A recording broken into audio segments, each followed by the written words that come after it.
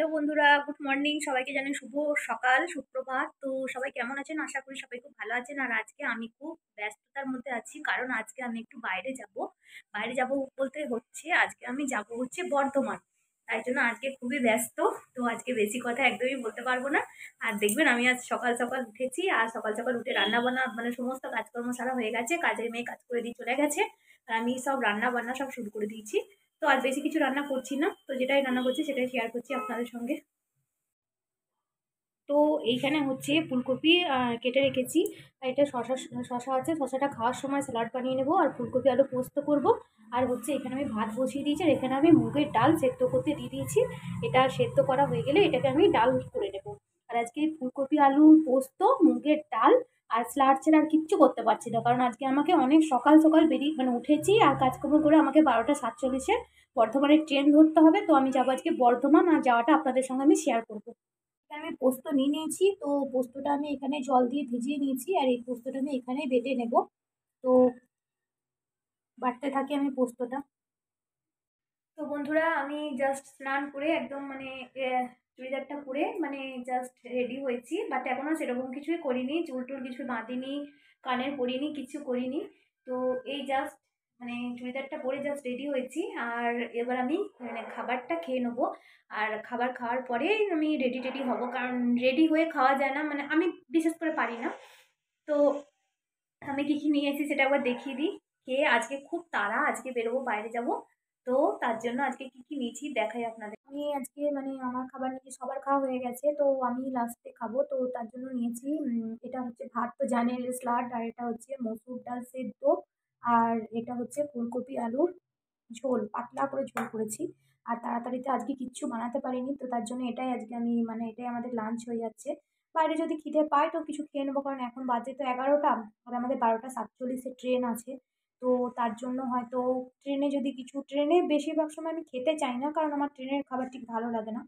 তো যদি দোকানে কিছু পাই, নামবো মানে নামার পরে হয়তো দুটোর সময় বর্ধমান নেমে যাব, তো তারপর যদি কিছু পাই, তো তখন খাওয়া হবে। তো এখন আমি বন্ধ করছি, কারণ আমাকে খেতে হবে, বেরোতে হবে, তো পরে আবার দেখা হচ্ছে বেরোনোর সময়।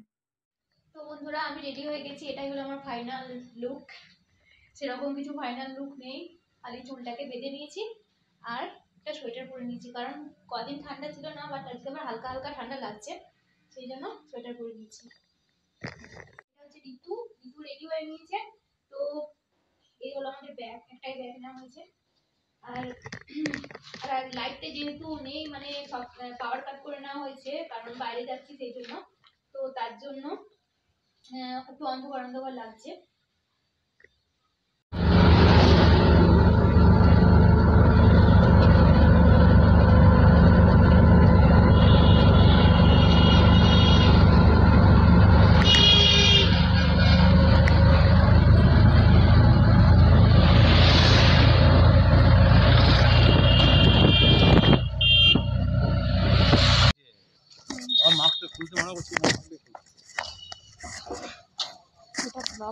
ঠিক আছে?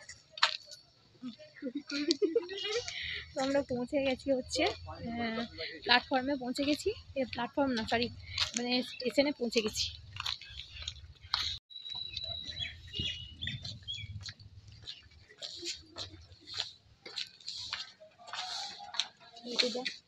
এই যে উঠছে আর এই হচ্ছে ঋতু ঋতু উঠছে।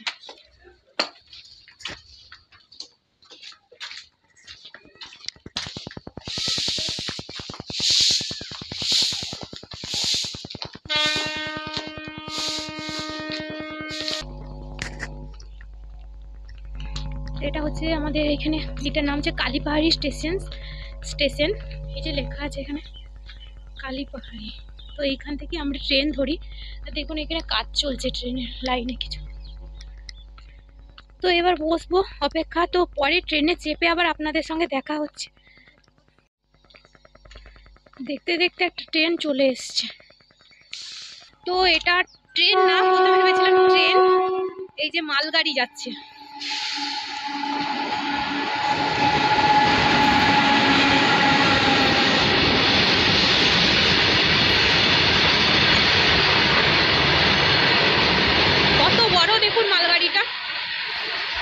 चलो ऐसे ये तो बेटा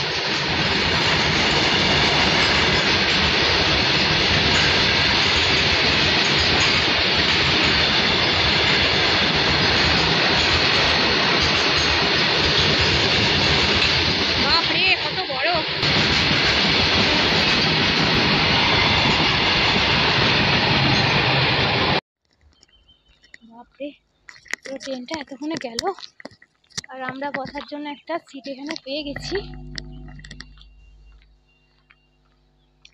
তো চলুন, এবার ট্রেনে বসে দেখা হচ্ছে।